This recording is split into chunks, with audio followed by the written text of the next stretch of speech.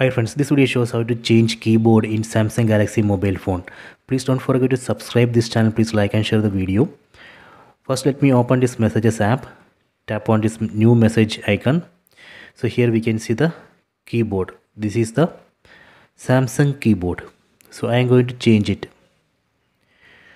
Go to Google Play Store. Then install this app Gboard. I already installed Gboard then go to settings. Tap on the settings app icon. Go down. Select general management. Go to keyboard list and default. Enable gboard. Tap here and enable gboard. Tap on ok. Then tap on default keyboard. Now we can see gboard here.